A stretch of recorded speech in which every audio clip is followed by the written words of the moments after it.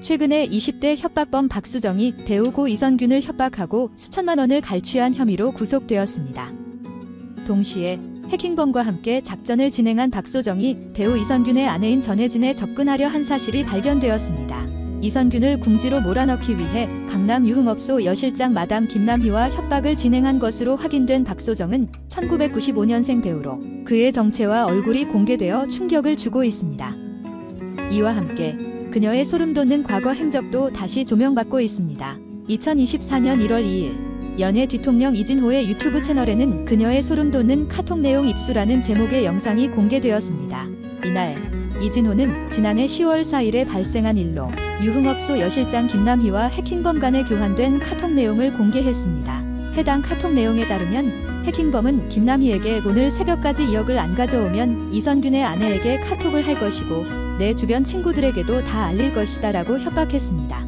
이진호는 해킹범이 요구한 금액이 최소 2억 원 이상임을 엿볼 수 있는 카톡 내용지라며 특히 이 해킹범은 이선균뿐만 아니라 이선균의 아내에게까지 연락하겠다고 명백하게 통보했다고 설명했습니다. 특히 이진호는 박소정이 이선균 측에 협박을 할 때 보낸 메시지 내용도 공개했습니다. 박소정은 김남희 때문에 시간을 너무 많이 낭비했고 그녀를 구속시키겠다.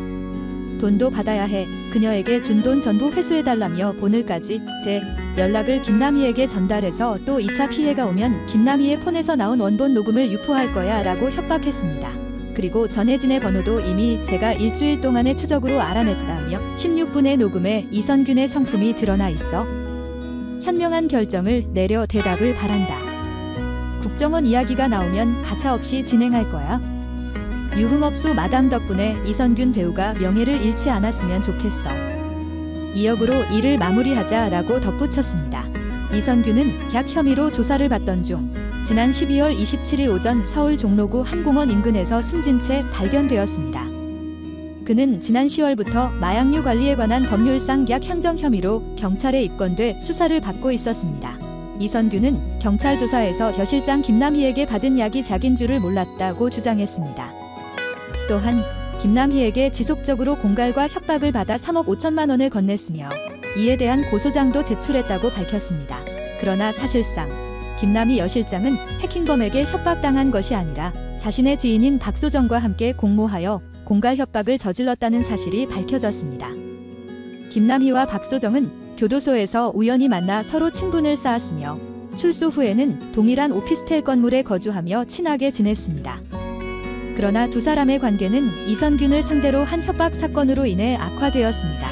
박소정은 김남희와의 돈 문제로 인해 친분이 깨지면서 김남희의 약 투약 증거를 경찰에 제보했고 이로써 사건이 공개되었습니다.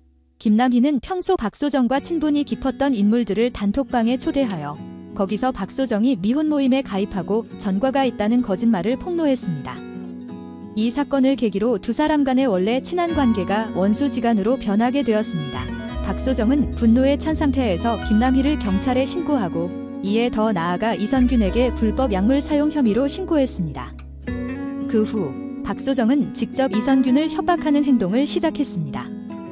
메시지를 통해 김남희로 인해 많은 시간을 낭비했으며 그로 인해 입은 손실을 돌려받아야 한다며 돈을 요구했습니다.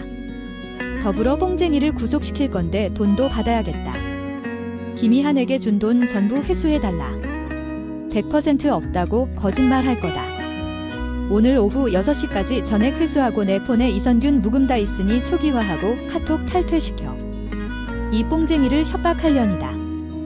매끄럽게 처리하면 더 이상 연락 안 하고 마무리하겠다.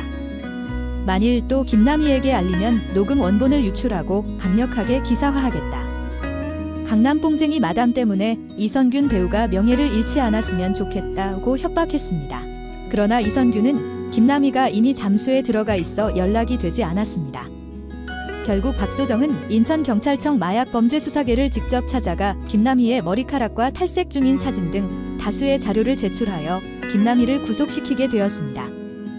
김남희는 체포 이후에 경찰 조사에서 이선균의 이름을 알리지 않았으며 자신의 인생은 막장이라고 하더라도 괜히 다른 사람들이 피해를 입게 하고 싶지 않다고 언급했습니다. 이 시기에 박소정과 이선균에게 지속적으로 빌린 2억 원을 상환하려 했으나 이미 3억을 뜯기고 마는 등 현금이 부족한 이선균은 결국 5천만 원만 보내며 사태를 종결시켰습니다. 이 사건이 언론을 통해 폭로되고 배우 이선균의 정체가 드러나자 그는 안내받은 정보에 큰 충격을 받았습니다. 급박한 상황 속에서 신속하게 작은 아들을 미국으로 유학 보내기도 했습니다. 그 후 박소정은 MBC의 실화탄 프로그램의 증인으로 출연하여 김남희가 독자적인 범행을 저질렀다고 진술했습니다. 이로써 박소정의 무죄가 확인되었고 김남희는 협박에 대한 처벌을 받게 되었습니다.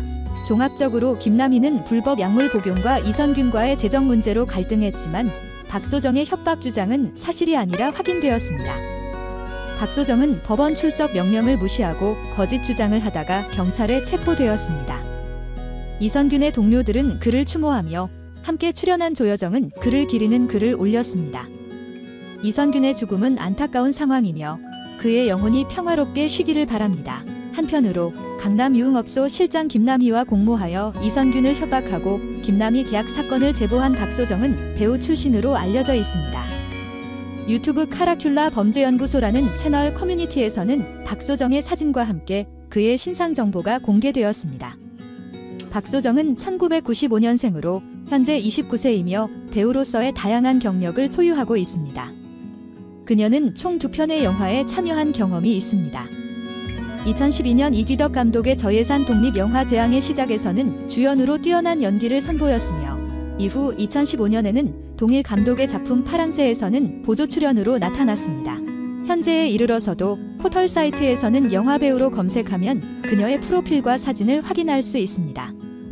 그러나 현재는 계약 사건의 수사가 진행 중이어서 인스타그램 계정이 비공개로 전환되어 있는 상태입니다.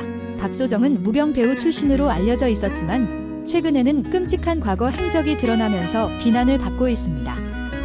그동안 박소정은 이선균뿐만 아니라 다른 남성들에게도 악질적인 행위를 일삼아왔습니다. 과거에는 동호회 앱을 통해 일부 남성들에게 접근하며 잠자리를 가졌고 그 결과 아이가 생겼을 때 임신 중절 수술을 해야 하니 돈을 보내라.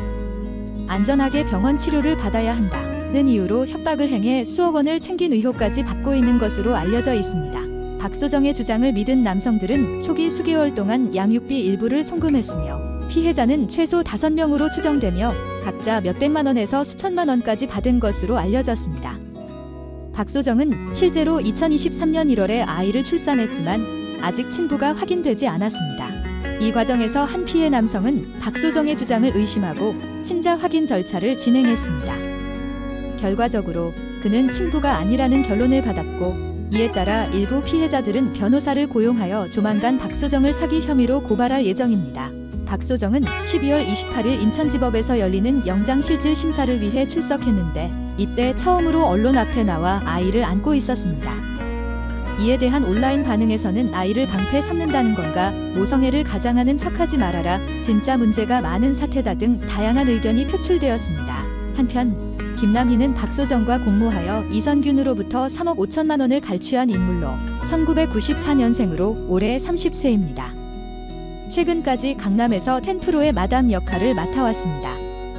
현재 온라인 커뮤니티에서는 김남희의 신상 정보뿐만 아니라 얼굴과 인스타그램 계정까지 공개된 상황입니다.